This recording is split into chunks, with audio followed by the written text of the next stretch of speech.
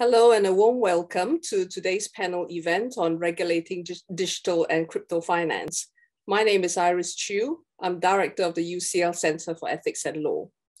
With me today is, uh, is a panel of uh, eminent speakers who will be bringing their views uh, across borders relating to the different positions that different jurisdictions are taking in relation to digital and crypto finance. Principally, we'll be discussing the Australian uh, position in terms of possible reforms, as well as the European position in relation to uh, the MiCA, which is uh, proceeding through consultation and possibly uh, going to be introduced uh, in the form of law uh, not long this year. Um, I will be introducing the panel and following which um, the panel will be asked to speak in turn. Uh, we'll be taking questions and answers uh, on the Q&A function um, in Zoom, and uh, we'll have a Q&A session only after the panel has uh, finished. so let me first introduce our speakers today. first to speak will be Professor Andrew Godwin, who is Principal Fellow at Melbourne Law School. He's also Special Counsel at the Australian Law Reform Commission. Andrew has had a long and distinguished career in both academia and practice, and a wide range of research interests in financial services law, property, insolvency law, etc. We're very pleased to have Andrew with us today to discuss the Australian reform position. Following that, we have Professor Philipp Maume, who is professor in corporate governance and capital markets law at the Technical University of Munich. Philipp is also a prolific publisher in relation to this area of law and technology and financial services, and he'll be addressing us principally in relation to the position in MiCA.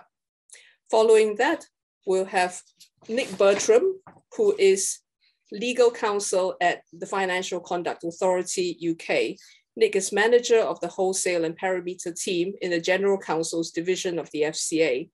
Nick speaks today at a panel in his personal capacity and will be offering his reflections on what the other speakers will be talking about in relation to the reform position as well as the position in the UK.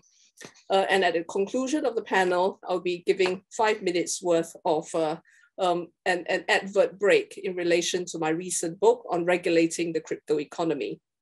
Following that, we'll be taking a Q&A from the audience. And so please feel free during this time to send your questions through the Q&A function uh, in Zoom, and I'll be moderating the questions that are submitted and selecting them for the panel uh, during Q&A. So without further ado, let me first invite Andrew to speak. Well, let me start, Iris, by thanking you and the UCL Centre for Ethics and Law for inviting me to join today's panel discussion and also to kick off the discussion, as it were, with an outline of the proposed reform agenda in Australia and also my own thoughts about the direction of regulatory reform in the area of digital and crypto finance. So by way of outline, what I'd like to do is start by identifying some key questions for regulation and regulatory design in this area. Hopefully that will provide a general conceptual framework for the panel discussion. I'll then outline the current approach in Australia. Following that, I'll discuss the proposed reforms in Australia and draw some high level comparisons with the proposed crypto assets regulation, the draft EU markets in crypto assets regulation or MiCA in, in the EU. And I'll conclude with some thoughts about the direction of regulation in what is obviously a very fast moving area. I think there are a number of questions that are relevant to the design of regulation. Um, and these questions that I put on the slide here are questions I think that all jurisdictions need to consider. First, a fundamental question should the regulatory framework in respect of crypto assets, particularly private cryptocurrencies, be facilitative or prohibitive? Mainland China and India are two jurisdictions that currently fall into the latter category, although their frameworks are evolving to become facilitative in respect of central bank digital currencies. Uh, an interesting question in this regard, I think, is whether all jurisdictions will eventually need to be facilitative in view of the ease with which crypto assets can be created and uh, distributed across borders. Taxonomy, or the way in which tokens and crypto assets are classified, is also very important. Uh, I've often thought that it's very difficult to know how to regulate something if you don't know what it is. This taxonomical challenge, if you like, has become greater as a result of the pace of change that's been brought about by technological innovation. And also, I'd suggest, the extent to which new asset classes have come to be defined more by technology than by traditional concepts or labels. And uh, as we all know, this has provoked a lot of thought around how tokens and crypto assets generally should be classified for regulatory purposes. And I'll return to this theme a bit later on. A related question is target, namely, who is the target or what is the target of regulation? And a particularly important question is who should bear responsibility if something goes wrong? It's very difficult to regulate technology, of course, and so the focus inevitably shifts to regulating those who deal with the technology in some way or provide services, such as distributed ledger technology services or crypto asset services, as I think it's known under MiCA. There have been proposals in Australia to widen the regulatory net to include service providers, and I'll return to some of the proposed reforms in Australia in a moment. Fourthly, the regulatory style or method is relevant. For example, should we move away from a prescriptive rules-based approach towards a more principles-based approach in the area of crypto finance, supported by regulatory guidance, and perhaps greater discretion and flexibility on the part of regulators to formulate, interpret, and apply the rules as the market in crypto finance evolves. And I'd certainly be interested to hear Nick's views on this. A related question for regulation is whether we should aim for a unitary or bespoke regulatory framework. By unitary, I mean regulating crypto assets within the existing regulatory framework or within a single unified framework as, dis as distinct from having a separate regime or framework for crypto assets. To date, jurisdictions such as Singapore, Canada, the UK, and Australia have tended to regulate crypto assets within the existing framework, although we've started to see crypto specific provisions and definitions emerging in anti money laundering legislation and also in, in Singapore and the UK, I think uh, we've seen these crypto specific definitions and provisions emerging in uh, payments legislation. And that's primarily, I think, to attract the relevant licensing and other requirements. By contrast, jurisdictions such as Gibraltar and Malta have adopted bespoke regulations in respect of distributed ledger technology and uh, in respect of DLT providers. It's useful to note, I think, that many jurisdictions have uh, adopted a sandbox approach, which to some extent represents a bit of a halfway house between no regulation and formal regulation. A key question in all contexts, of course, is consumer protection and how to ensure adequate consumer protection. One interesting question, uh, a question I think that tends to be overlooked on occasion is the impact of the applicable regulatory model in the relevant jurisdiction. For example, is there a single market conduct and consumer protection regulator and a single rule book, as it were? Or are there multiple regulators and different rule books for different sectors or industries? And I'll speak about this further in relation to Australia in a few moments. Finally, uh, I think it's relevant to consider what, if any, regulatory objectives or philosophies might be adopted in the relevant jurisdiction. And just by way of example, uh, since the late 1990s, when the current framework in Australia was reviewed and designed to meet the challenges of the future, and that took place pursuant to an inquiry called the Wallis Inquiry, Australia has subscribed to the notion that there should be similar or same regulatory treatment for functionally equivalent products. And this has been a guiding principle in relation to the development of regulation in financial services for the past 25 years. A critical challenge with a functional approach, however, is how to define and assess functional equivalence for this purpose. I'll defer to Nick and Philipp in relation to the position in the UK and the EU, but my understanding is that the UK has been guided by the principle of same risk, same regulatory outcome, which I think does have some attractiveness, um, but there may be a challenge, I think, in determining how to measure risk as it's applied to activities and entities. The EU principle is similar, uh, but perhaps reflects a more activities-based approach. And I think that also has some attractiveness, but it does require clarity around the classification of activities or crypto assets. And I think that's been a bit of a, or the subject of debate in recent times in relation to the scope of MiCA and what exactly it covers. It's also important to consider the relevance of general regulatory principles, such as the need for regulation to be technology neutral. In other words, not to favour one technology over another.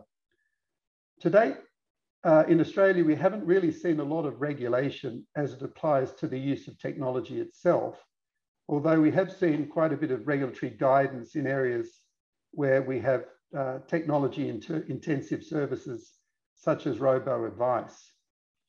And I might mention while I'm at it that uh, regulation isn't the only area in which um, we're seeing challenges, as many of us would be aware. Many challenges arise in the realm of private law. For example, how should crypto assets be classified from a property law or proprietary perspective? And how should they be treated in the event of insolvency on the part of a crypto exchange, something that's been very topical in Australia as I'm sure it's been in other jurisdictions.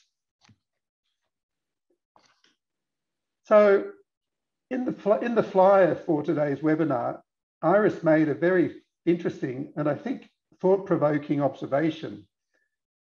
And I quote, the Australian reform agenda appears to be holistic in nature, covering the business aspects of blockchain-based commerce, as well as crypto assets and finance. The European proposal in the form of MiCA seems more limited. It's still early days in Australia in relation to regulatory reform in the area of crypto finance, and I wouldn't suggest at all that Australia should serve as a model for other jurisdictions.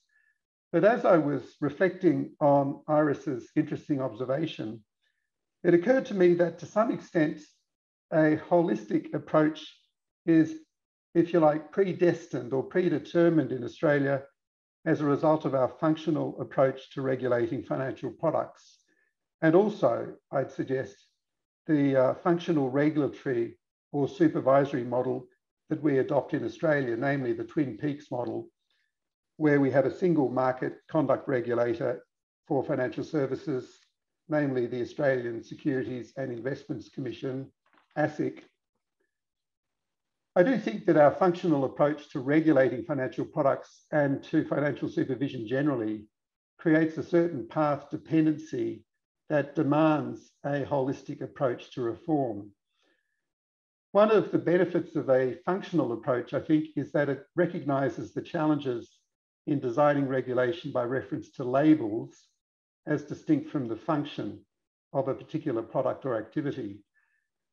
The functional nature of the definition of financial product in the Corporations Act means that if crypto assets or tokens function as financial products under any of the three categories that you see on the slide here, it will be regulated, these assets or tokens will be regulated as financial products and attract the licensing and disclosure requirements.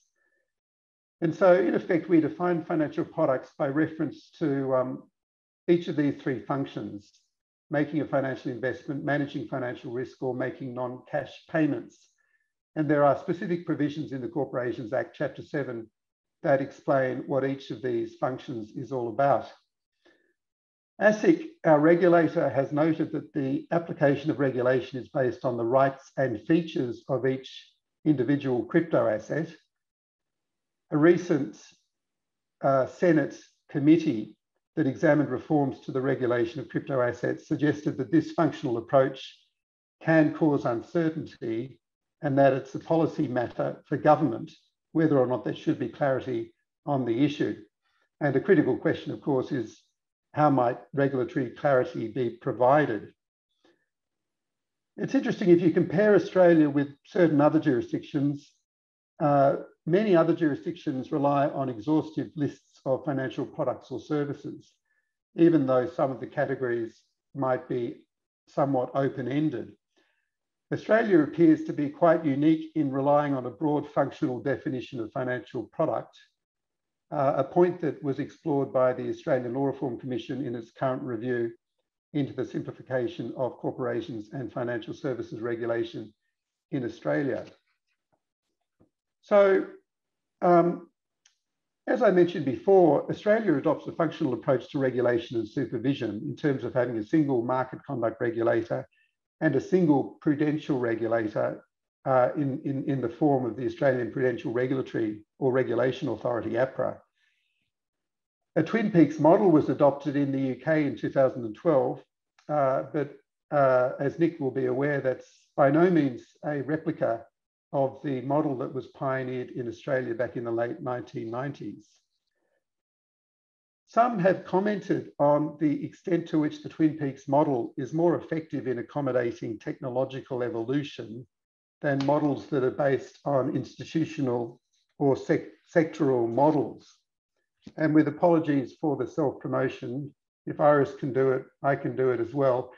I've included on this slide an extract or a quote from a book that I co-edited that was recently published on the Twin Peaks model of financial regulation which makes this point in relation to Hong Kong. What's interesting about the Twin Peaks model is that it requires effective coordination between the financial regulators in order to make the model work. And I've often thought that one of the benefits of this model is that each regulator recognizes the need to coordinate with the other regulator for the reason that it wouldn't be able to perform its regulatory functions effectively or properly without having robust, effective coordination arrangements in place with the other regulator. If you like, each regulator has a vested interest in ensuring that the other regulator succeeds. Of course, in the area of crypto assets, at least in Australia, coordination is necessary not just between the Twin Peaks peak regulators, but between the Twin Peak regulators and a number of other regulators, such as the Central Bank, the Reserve Bank of Australia, in respect of the payment system and AUSTRAC, which is the uh, regulator in the area of AML, anti-money laundering. But I think irrespective of the model, coordination between regulators in this uh, fast-growing area is, is of critical importance to avoid inconsistencies and confusion. And one thinks of the uh, initial debate, uh, which to some extent is ongoing in the US about whether cryptocurrencies should be regulated as securities or commodities as an example of some of the um, uncertainty that can arise. So what are the proposed reforms in Australia? I've listed on this slide three significant reviews or inquiries that are relevant in the area of crypto assets. The first two have already been completed. The third in which I am involved is ongoing. The first one, the Treasury Review, which reported in June 2021, focused on the payment system and how it should be reformed to accommodate new technologies, new business models, and new forms of money. The Senate Select Committee focused on reforms in Australia's technology, finance and digital assets industries, and reforms in the regulation of cryptocurrencies and digital assets. The current ALRC inquiry focuses on how to simplify and rationalise the legislative framework in respect of corporations and financial services, including uh, how it might be adapted uh, in order to accommodate new business models, technologies, and practices. So as you can see, there's quite a bit of overlap between these three reviews. On this slide, I've set out some of the recommendations from the payments system review. Notably, I think it recommends powers on the part of the responsible minister, the treasurer, to designate payment systems and participants for regulatory purposes and to direct regulators to develop regulatory rules accordingly. It also recommends a functional approach in terms of the regulation of payments, and that's to ensure that the system remains fit for purpose as technological advancements gather pace. And it also recommends that coordination between the regulators be improved. Let me now just outline some of the recommendations in relation to the, um, or under the Senate Select Committee review on Australia as a technology centre.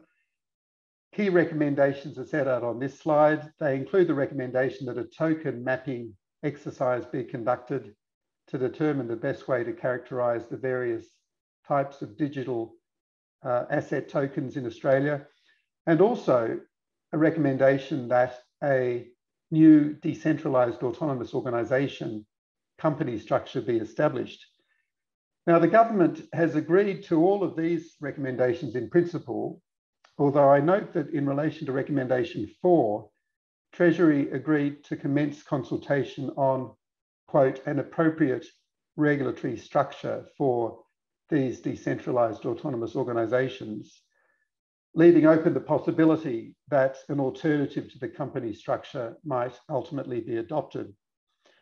I think uh, Philipp might be touching on decentralized autonomous organizations or DAOs in his comments. Of course, I'll defer to Philipp on the details concerning MICAR, including whether the correct acronym is MICA or MICAR. But it, appears to me that uh, MICAR represents a more bespoke approach to the regulation of tokens as compared with the proposed reforms in Australia, with, uh, I understand, utility tokens and stable coins being regulated separately from investment and securities tokens. A key issue, I understand, in this regard, and one that's being uh, subject to some debate at the moment, is, is the current difficulty in drawing the lines, drawing lines between the different types of token and the challenges that this might create for uh, or in terms of regulatory arbitrage. Let me finish with just some concluding uh, thoughts about what all of this suggests in terms of the direction of reform going forward. First, at least in Australia, I think the impact of technology will result in a move away from the current prescriptive rules-based approach that we have in favour of a more principles-based approach, one that importantly is supported by clear outcomes. And the UK is an interesting, interesting jurisdiction in this regard because it has experimented a lot with outcomes-based regulation. And I'd be interested to know to what extent this might um, be relevant in the context of crypto assets. Secondly, I think the regulatory net will need to uh, widen to include a broader range of parties, including providers of technology related services, as I mentioned before. And this point was recognised in the payment system review report in Australia in relation to providers of payment facilitation services. Thirdly, I think it's inevitable that regulators will need to be given greater powers and flexibility to adapt to challenges brought about by technology, and will also need greater regulatory discretion in order to achieve that uh, often, um, uh, what's the right word, um, uh, difficult balance between uh, achieving adequate consumer protection and at the same time not stifling innovation. And I'd be interested to hear Nick's views on that from a UK perspective and Philipp's too from an EU perspective. Lastly, I think it'll be interesting to see where things land in terms of this question of whether a unitary or bespoke regulatory framework is appropriate. I think this depends on a number of factors, including the regulatory model, as I mentioned, and also on the regulatory philosophy that underpins regulation in this area. Iris, that's all I was proposing to say uh, by way of my comments. Um, let me hand the floor back to you. I'm looking forward to hearing uh, from, from Philipp, uh, Nick and yourself. Thank you, thank you, Andrew, for this. Um, I, I, very much like uh, the, the, the Senate's reform proposals, actually, but I think it's a very difficult choice between the unitary approach and, uh, and a bespoke approach. Um, without further ado, let me invite Philipp to the floor uh, to talk about MiCA. Okay, good. So I'm unmuted, so I'm assuming you can hear me and you can also see my slides. If that's not the case, then please uh, give me a sign. So, yeah, thanks um, everyone, thanks in particular to Iris and Andrew for um, the first very, very interesting presentation. So let's see um, how this compares to the European Union framework. So the first thing, um, it is always difficult to compare regulatory approaches because uh, on the one hand, you have the theoretical approaches. On the other hand, you have the different codes, let's say, of regulation. So what we actually need to do is to find the different elements. And um, if we take a look at what's happening in the European Union right now, I mean, there are a lot of criticisms on the European Union, and one of them, and it's a valid one, is uh, that the European Union is not exactly quick when it comes to lawmaking for various reasons. I have to say, when it comes to the whole digitization, uh, there's a huge typo, I'm just realizing, agenda, we can see uh, quite a few things here. So um, about one and a half years ago, we had the first uh, two major projects about crowdfunding and the DORA regulation, which is basically about uh, digital resilience for financial service providers and similar entities. What we have in the pipeline right now is the Digital Services and the Digital Markets Act, this is basically about uh, digital platforms such as Facebook and the like, which I very, very well, let's say, I was a little optimistic here, say might pass parliament in 2022. We have a regulation on artificial intelligence um, in the pipeline. Mm, it really remains to be seen uh, what happens there, but they claim that it is actually the first, let's say, um, holistic maybe approach to regulating artificial intelligence. Then we come to the red area, and this is actually where we find the parallels to what Andrew spoke about. So we have the digital euro, so the digital currency, central bank currency, which is expressly not a part of MiCA, but of course the two packets or the two approaches can't really be, be separated from each other. Then we have a pilot regime for DLT market infrastructures, which is sometimes seen like a little bit like a bandwagon or like see a sidecar for the whole um, MiCA approach because as we know it, if we talk about financial products, if we talk about markets, then we have to have functioning market infrastructures as well. And so this is um, the DLT regime. Um, it is um, combines certain elements, but it basically seeks to uh, come up with a market infrastructure for DLT-based um, tokens and the like. And it also includes features such as um, regulatory sandbox, at least that is the plan. But however, MiCA stands, at least formally, separate from these others. So what was the story so far? Um, one of the big, big debates of the last, say, four years was, oh, do all these different token archetypes, mm, do they fall under European Union regulation? So are they subject in particular to the MIFID II directive? Why is that so important? Well, that's actually quite simple. simple. Um, the MIFID directive is a little bit like you might call, call the constitution of financial markets laws in, in Europe. In particular, it contains the pivotal definitions. So as soon as so, some kind of financial, let me call it product, um, is called by MIFID, then we could say the full brunt of European Union regulation applies. And so the question was, is Bitcoin financial product? Is it a financial instrument um, or not? And what about the other archetypes? And if we take a look at the definition in Article 4, 1, um, number 44 it actually is, the key term is transferable securities and transferable securities means those classes of securities it's a little circular there, which are negotiable on the capital market with the exception of instruments of payment, such as, I'm, and I'm shorting things down here, shares, bond, or any other securities giving the right to acquire or sell any such transferable securities. So the focus here was much more on transfer and trade than in investment. And all of a sudden, the, the whole story becomes, or so receives kind of a different spin. And the result after quite a few debates and articles um, was that what we usually refer to as investment tokens or security tokens would be considered transferable securities.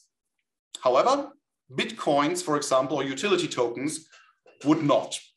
And that leads to a very, very weird situation. You might say investment tokens are subject to the full force of European Union regulation because they're trans uh, securities, so they are treated like shares, whereas the rest of the token world is not. So we have a huge problem with regulatory arbitrage here at this point. Some member states mitigated that to a certain extent. So for example, the German regulator said, uh, we take the view that, for example, Bitcoins are units of account and therefore we apply the German equivalent of the European rules. But that was only like, like a patchwork solution. So not many regulators did that. Yeah. Okay, so that is the background. What was the plan now under MiCA? Let me first um, just explain where we are right now. So the uh, original commission draft is from September 2020. And if I talk about MiCA now, I'm always referring to this original draft. There are now some, some not counter proposals, but some suggested amendments on the table because the current status is uh, what we call under European Union law, it's complicated, the so-called trilogue, which basically means all the major stakeholders in, um, in uh, European Union lawmaking, which is the Commission, Parliament, and the Council, um, have said their piece, and now the suggestions lie on the table, and now they need to come to a, a conclusion.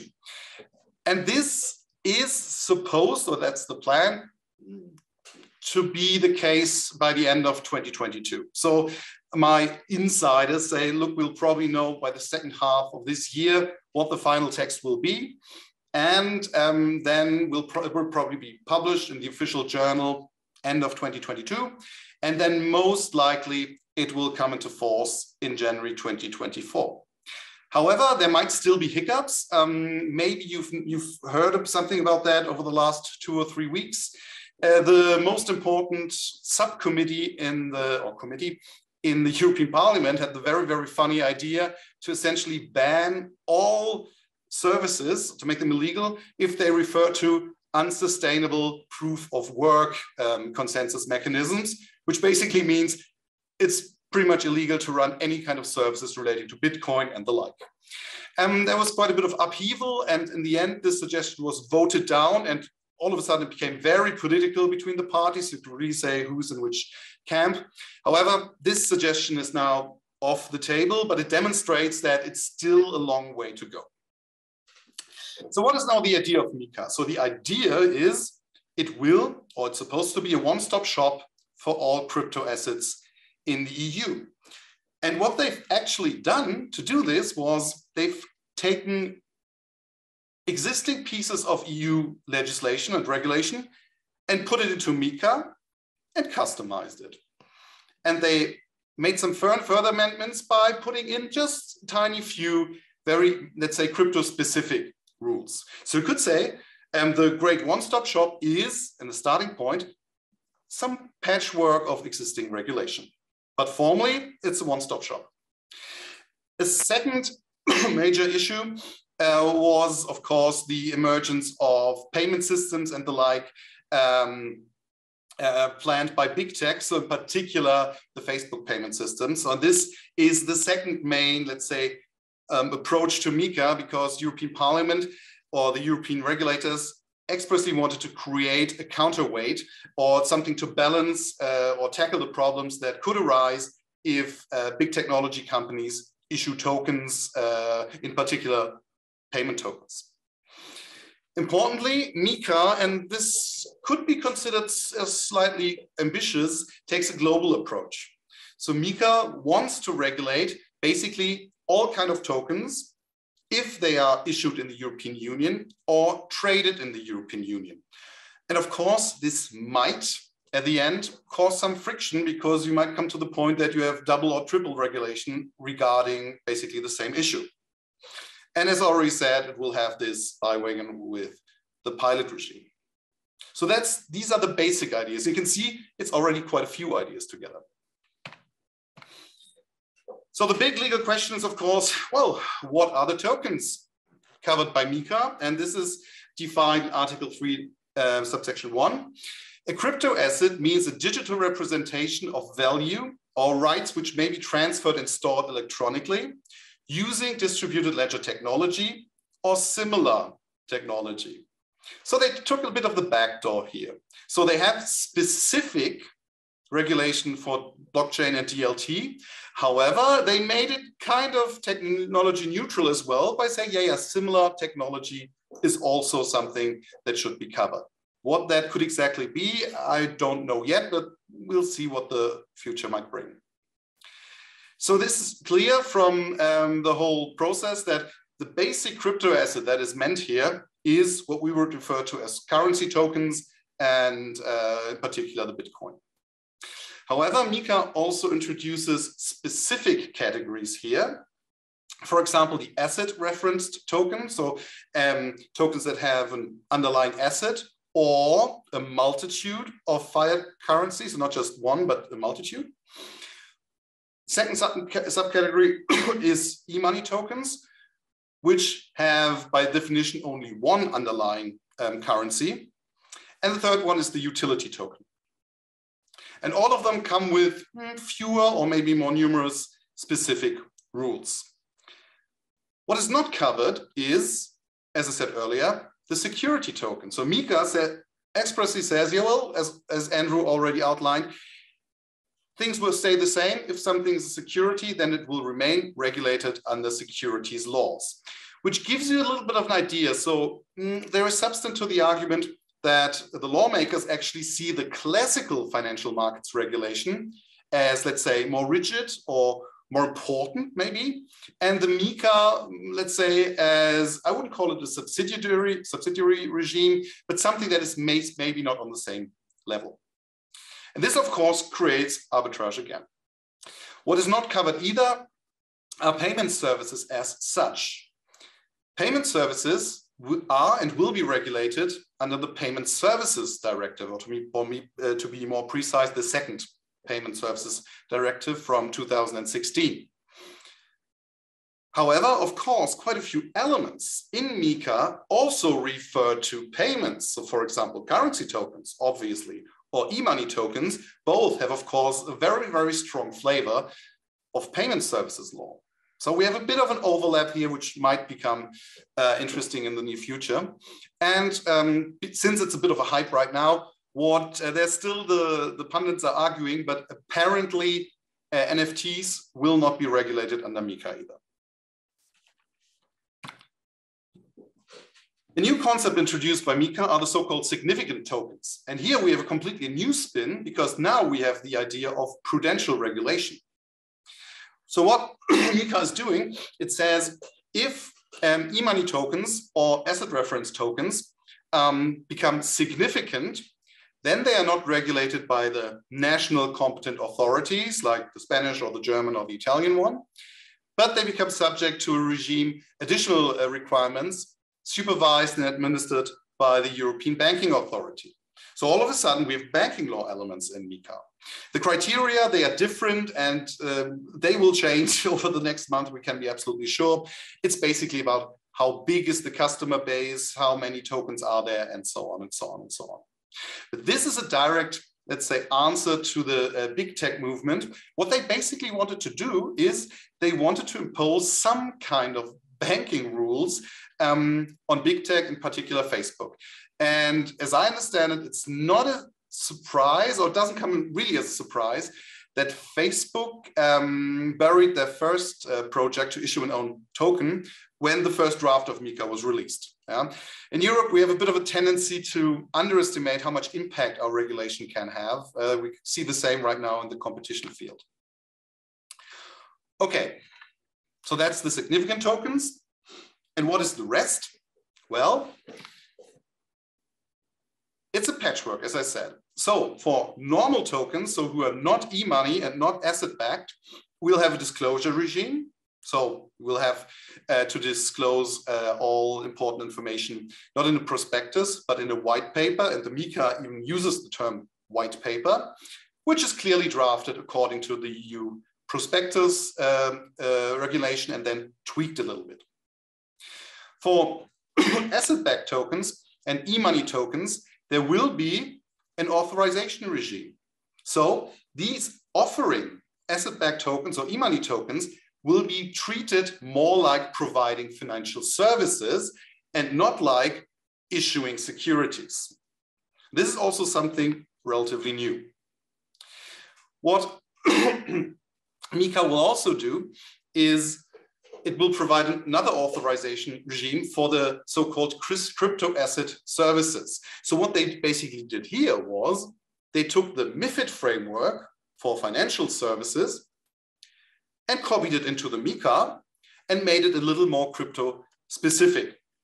Plus they added two new kinds of crypto services. They added the custody and the operation of crypto platforms, forms and exchange services. And that leads to, again, to kind of an interesting question.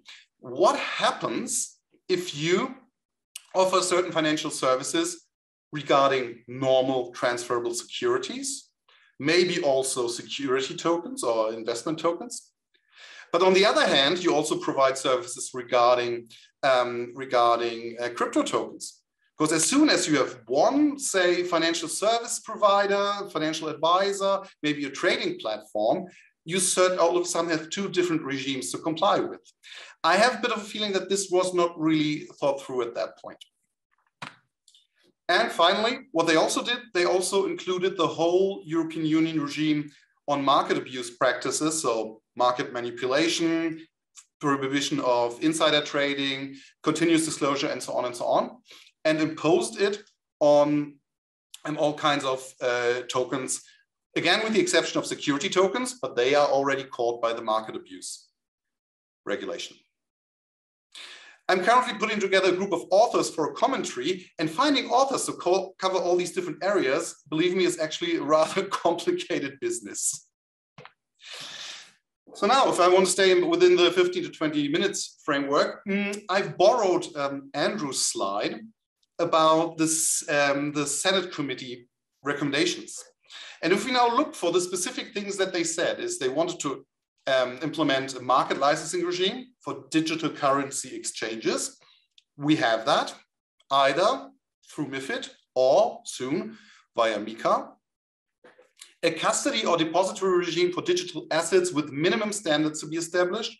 We have that as well. We have the new uh, custody service regulated under MiCA. Third one, a token mapping exercise to be conducted to determine the best way to characterize the various types of digital asset tokens in Australia. Yeah, we kind of did that as well, um, although our system doesn't really allow for a lot of flexibility. So our system is relatively rigid, which comes with certain advantages and certain disadvantages. So you might, the problem is a little bit, as soon as new important token types emerge, that we might and we might not be able to, to, to, cover them with the existing with the existing definitions, for example, NFT. Well, European Union lawmaking is rather sluggish. So there will be certain mechanisms in place in MiCA so that uh, the European Commission can um, issue uh, delegated regulations in certain areas. There will be um, technical standards issued by, I think, by ESMA and the EBA. However, the core definitions are still relatively rigid. So we do have that, but we do not have the intended flexibility that uh, Andrew mentioned. the Treasury led a policy review of the viability of a retail central bank digital currency. We have that as well, although, as I said at the very beginning, not under the MiCA regime, but it's a separate issue. By the way, so the German, uh, sorry, the European Union expressly says um, digital currency and decentralization, these are things that can go together, but they are not necessarily part of the same package. So we have an overlap, but it's not exactly the same. And then the last one, if we take a look, a new decentralized autonomous organization company structured to be established. And we don't find anything about that. So we wonder why. Um, my guess, it's an educated guess, but it's still a guess, is well, the European Union doesn't really have the lawmaking power there. The DAO would necessarily cover the, uh, go into the area of, on the one hand, financial services, financial products, and so on, but definitely also in the, in the field of company law. And here, the lawmaking power laws lies with the member states, and you need a very, very high level of consensus um, to enact legislation in that area. And we've seen various legislative uh, proposals over the last uh, 10, 15 years that have basically been shelved because uh, people or the companies, or sorry, the member states couldn't agree on them. So from that angle, I would be interested what Nick says about that, because the usual counterparts were the UK and Germany, who couldn't agree in the area of, of company law. Uh, but as we all know, the situation has changed uh, over the last years. Um, so maybe there's a difference there. We also have to keep in mind that um, in the European Union, the whole fintech area, but also the capital markets union, these are big political projects. So there is uh, there's a prioritization here. Company law is not. So now I can only speak from a German perspective. I can really sense how reluctant governments are to implement blockchain technology into the statutory law and then implementing a DAO, which is basically forgetting some of the absolute basic principles of company law that we've gone, grown accustomed to over the last 100 years is a big one. And then doing that on the European level, mm, let's just say I would find it very interesting if Australia goes ahead. So just that we have a bit of a model example as in what Europe might be willing to do in five years. And that was the European Union MiCA perspective. Um, so now I'm happy to hear comments from, I think it's Nick's turn now. And thank you a lot. And thanks a lot and waiting for your questions later on. Thank you, thank you, Philipp, for this um, wonderful overview of MiCA and, and whatever shape I think the ultimate text takes, this will be a pioneering template, you know, that uh, everyone else will study. Um, with that, shall I call upon Nick for your comments? Great. No, thank you very much, Iris. And really interesting to hear from Andrew and Philippe there. I mean, there was a lot there that actually really resonated with me um, as a practitioner, if you like, in, in, in, the regulator. I should just remind everyone I'm speaking in the personal capacity here rather than speaking for the FCA. But there are a few things I want to pick up on actually. Um, Firstly, um, to deal with this overall point about what we call in the FCA, what I call the perimeter of regulation, i.e., how are these crypto assets caught within existing structures of regulation because that's something that we at the FCA have been grappling with since uh, basically since crypto assets first came across my desk in the legal department back in 2014 2015 you know do and it, it was really interesting to hear andrew and uh, philipp's perspectives on this but and, and we've had exactly the same thing. You know looking at a crypto asset your typical crypto asset does it fall within any of the particular categories of a regulated investment that then bring it within uh, the regulatory perimeter?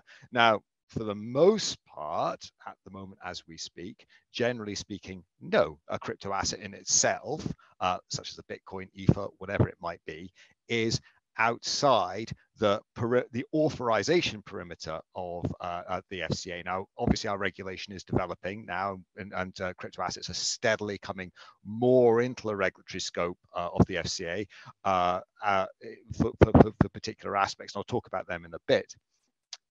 But one thing to talk about the perimeter here, and it'll lead on to one of the, the, the very good points that Andrew raised about uh, the flexibility of regulators here.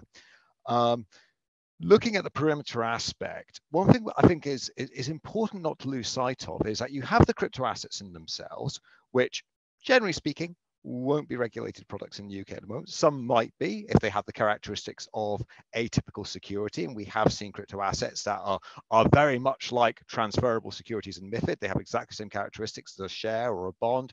We would say they would be within our perimeter. So activities would be regulated in respect of them. But obviously you have large categories of crypto assets which are completely outside of scope. That being said, there are, of course, products which are developed off crypto assets, be it derivatives that reference crypto assets, which are certainly capable of being uh, uh, regulated products in the UK. And indeed, we've taken action to, uh, and the FCA has taken action to uh, ban the marketing and sale of such products because of their inherent risks to uh, retail customers. Quite, quite a controversial policy, that one. Um, but also, what we've seen a lot of recently, and you know people who've been reading the financial press will have seen this too are things like crypto deposit and lending arrangements whereby you can leverage you hold, you hold crypto assets but you can leverage off your your uh, investment in cryptos if you like to get a return by if you like pledging them to uh, uh, uh, uh a body, whoever it might be, a crypto exchange or, or, or, another firm that will then use those crypto assets in its business and give you a return. Now, these some of those arrangements start to look very much like investment vehicles or collective investment vehicles in, in, in, in, in the UK speak, um, which can raise a lot of interesting and very challenging perimeter issues. And it's interesting seeing Andrew's quote that he had in his slides from um, I think it was the Australian Senate Select Committee um, that basically needs to be dealt with on a case by case basis, whether a crypto asset or something relating to a crypto asset uh, falls within the perimeter, if you like, of regulation. We're certainly finding that with these uh, crypto lending and deposit schemes and staking schemes as well. That's another aspect where you can sort of generate a return from your holding of crypto assets. So I think it's quite important for, for us as regulators and practitioners not to lose sight of that. You know, we can get quite focused on the crypto assets themselves and how they should be regulated or not regulated, depending on, on, on, on what they are. But we also need to be conscious of those products that or those arrangements that use crypto assets and could create you know risks themselves uh, to consumers. I mean, that's one of my personal concerns. Like, you know, what if these crypto lending and deposit arrangements go wrong? You know, um, uh, what happens to you? You've you've uh, uh, you you you believe you held these crypto assets, you then gave them, for lack of a better word, to uh, or deposited them uh, with another firm that then used them. That firm goes bust, let's say what happens to your crypto asset? Is, is there any disruption for you? Maybe you get it back and it's absolutely fine. Maybe you don't. It sort of disappears into ether. We, we, we, we just don't know. You know, I mean, that's that that'll be in, interesting to see how how that that progresses. And it's interesting to see in the US, the SEC and uh, some of the state regulators have taken quite a robust approach to these arrangements to say, look, these types of things are security arrangements and should be regulated as securities. So that, that that's quite quite quite an interesting aspect, and that gets on to to my point that actually Andrew quite rightly raised and, and Philippe too, about the flexibility of regulators themselves to kind of deal with the regulation of these products. Now, uh, as many of you who who who, who know the, the the the UK system of regulation, it's obviously the Treasury, the government essentially, that sets the perimeter of regulation. It sets the activities and the investments uh, that are to be regulated by uh, the FCA or the Bank of England. Uh, and that's kind of set out in legislation in effect. And it's a really interesting point that, that, that, that Andrew raised about, uh, well, look, going forward, what sort of flexibility should regulators have? Because at the moment, as we're sort of moving into a kind of post-Brexit world for uh, the UK, um, there's quite a drive from the government to kind of, if you like, God, I don't want to use Boris's uh, expression, take back control, but it's almost like that, the sort of political justification of it, to kind of give the powers back to the regulators that used to be with the European authorities or the Commission. So obviously, in the immediate aftermath of Brexit, we had a big job on shoring the various bits of EU regulation uh, into UK law effectively statute. And now, the ne- for, for, the next stage, which is going to take a number of years, is to kind of pass those those those those powers or that authority down to the regulator. Um, now, I don't know where this will end up with something like as, as, as crypto assets. I think it's it, it's obviously a lot broader than that. But there is a question about you know to what extent uh, the regulators, be it the Bank of England or be it the FCA, should have kind of scope to set the activities that they regulate. And that raises some quite fundamental questions, I think, about accountability as well, actually. So there could be quite a lot of tension, uh, you know, from uh, political tension, actually, in terms of how, how Parliament would see this, actually, and how the market might see this. You know, uh, uh at, at, the moment, you know, obviously to, to, to make changes to the perimeter, it needs to go through a legislative process. Uh, if that power was, say, transferred down to the, the, the, the regulator, um, you know what what what accountability is there for, for for for the regulator, particularly considering that actually there are criminal sanctions for breaching the perimeter. So that, that, that that's one interesting question. I mean, I just sort of put put put put that out there. But obviously, uh, regulators do have the ability to set their own rules as well. The FCA has quite broad rule making powers. Now, obviously, that tends to uh, just sort of work in terms of stuff that's within our existing perimeter. So we're still uh, if you like, uh, that's still set set by the Treasury. So that that's that's you know one one one interesting resonance that I had there from from what Andrew and and, and Philipp were talking about as well. I mean, just to say a few words about the UK approach up to now, I will say up to now because obviously it is it is developing. I mean, the UK approach seems to have been a lot more piecemeal, I would say, than the Australian approach and indeed the European approach. So we, we, we don't have anything yet like MiCA. We don't have anything yet like the kind of the, the, the Australian proposals. The way crypto asset regulation has kind of developed over the past few years has been in particular bits particular chunks, if you like. Um, so you know, obviously you had the money laundering regime under the money laundering uh, uh, regulation ultimately, uh, which has been expanded to cover uh, crypto, certain types of crypto asset business. So that's kind of brought it not not within our authorization perimeter as such, although you know increasingly now crypto firms have to be registered with the FCA. But the MLR regime, of course, is is, is limited to effectively financial crime, money, money laundering issues. It's not a full-on regulatory regime. But you can see it's starting to you know that that that, that the crypto world is starting to get more within the purview of, of, of the FCA, if you like, and, and, and, the regulators. And then, of course, you have the proposals that are still proposals at this stage. Um, you know, you have the uh, extension of uh, the financial promotions regime uh, to cover uh, crypto assets business. Um, and the FCA issued its consultation on the rules, the financial promotion rules that will, will apply. Now, that's quite, quite different, actually, because you, you, you then have the sort of financial promotions regime, which is broader than the authorizations regime. Gen- generally, you know, in the past, the financial promotions regime has uh, pretty much closely tracked um, the, the, the, wider FCA authorization regime. So, you know, if you're dealing in a regulated product, you're providing a regulated activity, uh, the financial promotion regime applies. Now, going forward, I mean, once a, once the Treasury has put the legislation in place, which is still um, still, I think it's still to be laid in Parliament. Actually, the, the the the the amendments to the financial promotions order, you will have a situation where you have uh, certain types of if you like, unregulated crypto business, that will be covered by the financial promotions regime. And that's to reflect the particular risks that we've seen in terms of, uh, you know, poor quality, misleading promotions being issued, which encourage people to invest in in, in potentially risky crypto, uh, crypto, crypto products. And you can read the, the the, the CP to see the the types of requirements we're thinking of putting in place. I mean, we're not going to ban uh, uh, uh, crypto promotions, uh, but we are going to impose certain rules and requirements around them, such as uh, particular risk warnings that need to be given, appropriateness tests as well, and other types of disclosures and restrictions on who they can actually be promoted to. So you've got the financial promotions pillar, if you like, as, as, as it was, or step stepping stone, if you like. And then, of course, you have uh, the stablecoins uh, uh, consultation that the Treasury issued at the beginning of last year. So again, sort of diff- interesting to compare uh, the different approaches in, in Australia uh, and the EU to this. Now, obviously, uh, Philippe mentioned that uh, MiCA has certain aspects about the payments side. I think Andrew, you mentioned also that the Australian system has certain, you know, focus on on, on the payments side.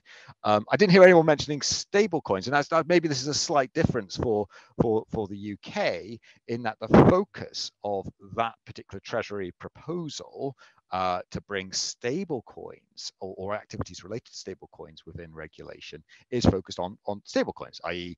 Uh, crypto assets that are pegged to, if you like, to a uh, uh, uh, to either commodities or more likely fiat currency. And I suppose it was interesting uh, when Philippe mentioned the the uh, Facebook. Uh, and yes, thank you, thank you, Philippe. it was interesting that Philippe mentioned the, the the Facebook proposals, which I think were quite a driver for the Treasury back in 2020, 2021 to actually, you know, uh, advance uh, this particular work in terms of for stable coins because then at the time there was concern about Facebook introducing uh, its own particular stable coin which may have became may have become very very large. Now as we know that didn't happen or hasn't happened yet. Um, but it's interesting comparing uh, the, the, the the the the MiCA approach uh, where Philippe mentioned that actually there could be some types of systemic or more systemic uh, crypto assets that would be kind of similar to be, be regulated under, under effectively banking regulation, and that's what you have with uh, the Treasury stablecoin proposals, which obviously still, you know, are, are, are, just consultation proposals at the moment. Consultation has closed, so we don't know what the the, the, the final uh, regime is going to look like. But obviously, there was uh, mention there about if there was more a, a more systemic stablecoin. Um, uh, then that might be subject to kind of more, more subject to regulation under the Bank of England because of the the, the, the systemic implications. So it's interesting to see that that, that, that you know that that you could, if you like, uh, quite a lot of the focus on crypto assets has quite rightly been on uh, the risks to consumers consumer protection, which is obviously for the FCA, but also as these things get bigger, particularly with a stable coin that might be used as a means of payment and might kind of challenge uh, um, uh, fiat currencies, um, that has various systemic implications. So uh, that's where the Bank of England will have a lot more of an interest. And obviously, we are working very closely uh, with our colleagues in the Bank of England and the Treasury, of course, to, to help sort of develop uh, the, uh, uh, the if you like, the, the, the, where, where the framework might go for, for, for crypto asset regulation in the UK. I mean, I think, speaking personally, I think over time, the UK will probably end up in a place that won't be a million miles away from Australia uh, and indeed the EU. And I don't think that's a bad thing. I think we have to be very conscious that as both Andrew and Philipp mentioned, uh, that the, the, crypto assets are, are, are very sort of cross-jurisdictional in nature, uh, which raises some very interesting challenges for us in the FCA as regulators about our approach uh, in terms of territorial ter territorial application of both our perimeter and indeed our, our, our, our, regulatory requirements that we're still we're still working through and I think we're still grappling with. Um, so yeah, look, it's going to be a really interesting few years uh, in terms of regulation of, of crypto assets. I, I, personally think these things are not going away. They will change. They will adapt over time. Um, but and and the regulation needs to be flexible enough to be able to uh, uh, uh, cope with that.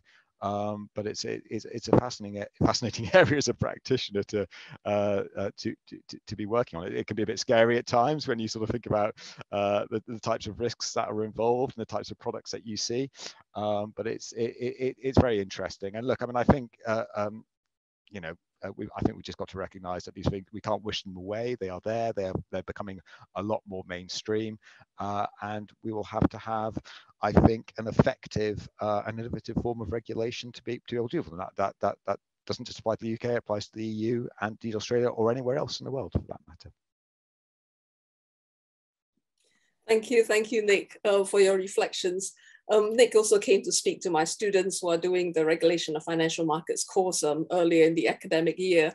And, and we did reflect on this issue of perimeter. And, and for me, I think, I mean, I, I do understand that this is a, a, big philosophy, you know, where, where our regulation is concerned. But um, for the layman out there who's looking for kind of financial services protection and for the purposes of financial education, that the perimeter issue is not really very easily explained to them in terms of why it is that certain activities are, are not overseen or not overseen in the same way uh, by the FCA uh, and, and perhaps the Bank of England as well, where we look at you know kind of systemic importance. So I think that sort of bridging society with, with regulators is, is still possibly a work in progress, you know, where, where we are concerned.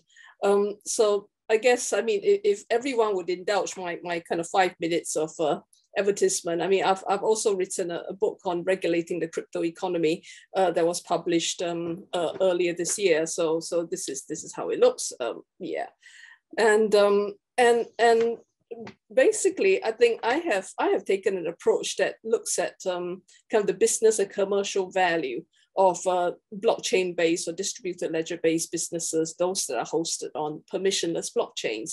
Um, and, and I think the financing needs actually come from the enterprisal needs. And which is why, I mean, the book proposes that the first thing that ought to be done is to be looking at how to enable some of these enterprises to really be mobilized and contribute to economic development. Um, and so the, the missing question in MiCA, which is the, the, the DAO question, or how do you treat blockchain-based organizations, enterprises, I thought is actually central. Um, and this is the reason why I really like the uh, Senate committee uh, in, in, in Australia's proposal that that they include this and they see this as an indispensable part, you know, of, of the agenda and the debate. And, and that, you know, I, I agree. I think in terms of um, the EU, Malta is probably the first that has come up with uh, that a new piece of legislation of recognizing this sort of uh, distributed ledger-based, you know, kind of loosely called organization. Um, and I think that there is some scope for us to think about whether these sorts of uh, enabling pieces of legislation would be useful, you know, for the economy. Uh, obviously, in the EU, the challenge of uh, harmonizing company law, you know, would be would be quite forefront. Um, but it, it is it is something that um, I think really ought to be a starting point because it's only if you have useful, you know, um, new forms of socially useful businesses that we start thinking about how to finance them um, and uh, how to financialize them, you know, at the same time.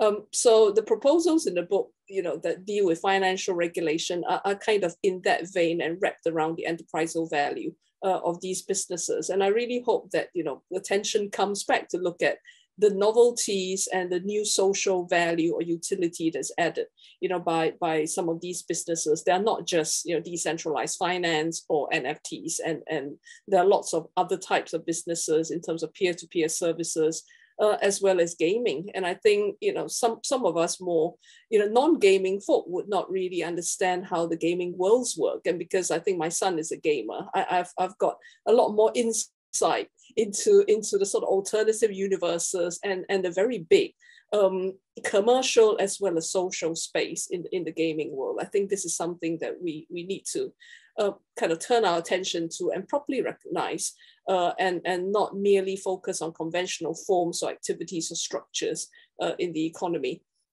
So that's my, my five minutes worth. Um, and, and also to bring it back to, to kind of whether a holistic you know, uh, agenda for reform is, is better.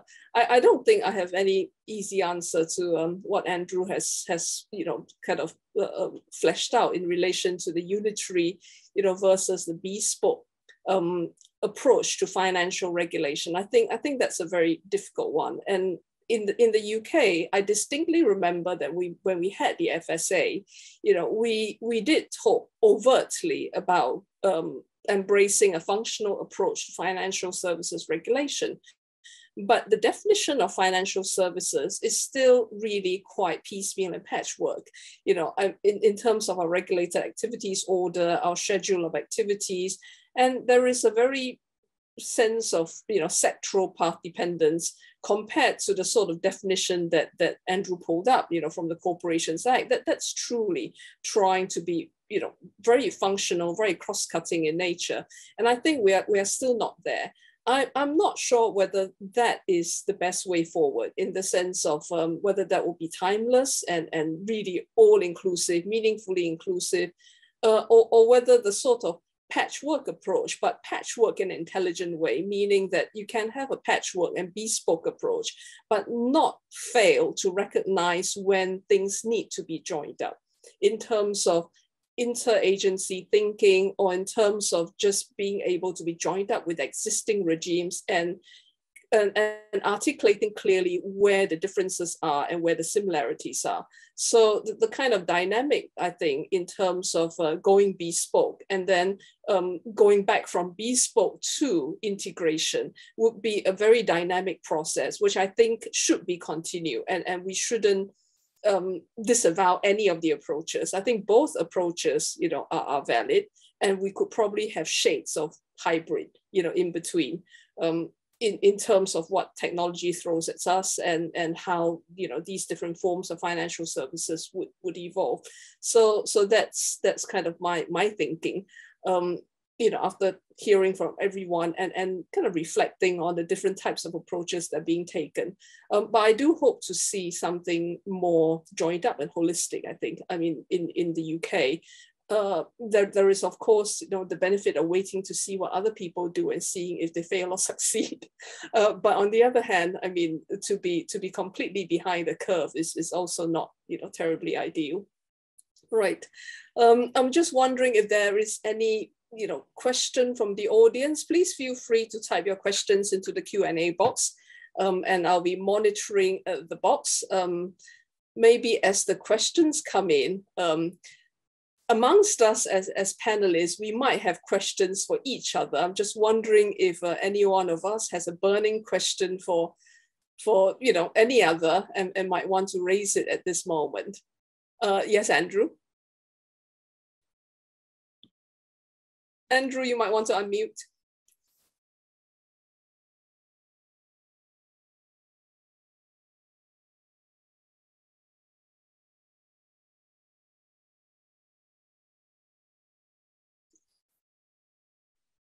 Here we go, it worked. I came face to face with the same uh, message that Nick and I think Philipp had come across before, namely, uh, we weren't able to unmute ourselves. But um, really interesting, Iris. Uh, one thought that came to my mind is the um, issue of regulatory flexibility and discretion, and um, to what extent the power to uh, declare that something is within the perimeter should be in, in the remit of the regulator. Um, if I understand both Philipp and Nick correctly, in the EU, um, you're, you're, you're stuck with these definitions now, and the regulator can't actually adjust or amend or refine the definitions. Um, and similarly, Nick, in the in the UK, the FCA doesn't have the power to um, identify a new uh, activity for that purpose. It's all based on statute. Similarly, in Australia, um, ASIC can't do that, but what it can do, interestingly, is determine if something isn't a financial product. So it has the power to exempt or exclude something from the regulatory perimeter. And that perhaps is a, is a product of the functional approach where everything's in, if you like, unless it's um, declared to be out by the regulator. But um, I do wonder to what extent we need to invest regulators with greater discretion and power in this regard because um, it's just so difficult to deal with these different uh, demarcations or changing demarcations between various um, activities and different types of asset.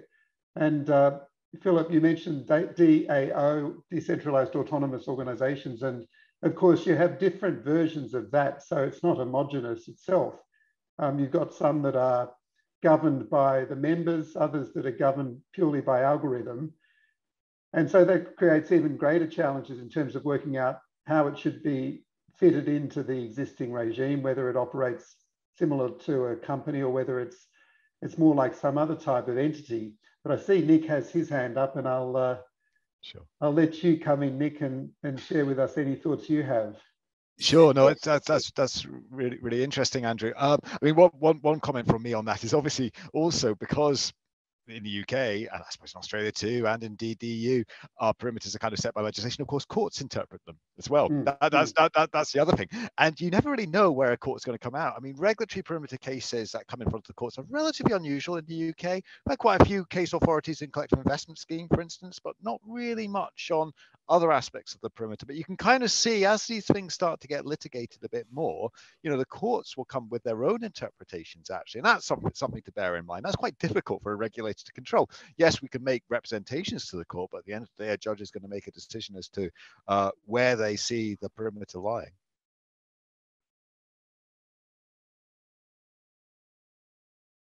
Right, I have one question on the Q&A, uh, and uh, someone has asked whether MiCA will cover decentralized finance. Shall I, shall I defer to Philipp uh, to answer this? Yes, thank you. Um, uh, well, decentralized finance again is like like like a big bag of of different concepts uh, overlapping. But um, the answer is actually no, it does not. At least not specifically. Yeah? So MiCA really takes the approach. Okay, do we have a token that falls within the, the definition? And if it's not, then it's not under MiCA. However, certain practices um, that are covered by some aspects of decentralized finance might fall under the existing regulation, the MIFID. Not all of them, but some of them. Yeah? Um, so I actually have some, some practitioner friends who are currently tailoring, uh, trying to get authorization from the German regulator, like, oh, does it fall into this or that category? So, um, so MiCA doesn't apply, but the existing uh, regulation might, or the directives and the corresponding bonding national regulation. But which is actually a funny example or funny, funny result if you think about it. You have this new MiCA thing, but then the arguably even more advanced DeFi is then may be covered by the more conservative traditional regulation that builds on concepts that are like 20 or 30 years old. You know? the, the, the crypto uh, universe is full of surprises.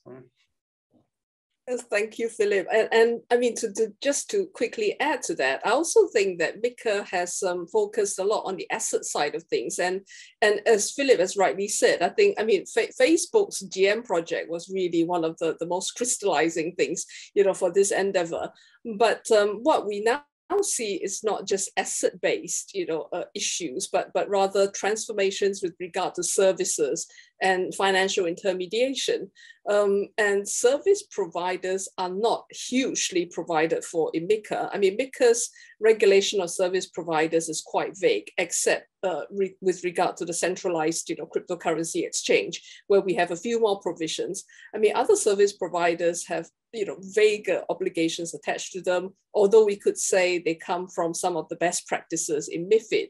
But whether you know, this includes all of the specific types of risks that people are really concerned about, uh, not really. So it, it, could well be possible that um, will have to fix this, you know, before the finalized text, or we might see, uh, you know, bits of the finalized text referring to uh, different types of services. Yes, Philipp.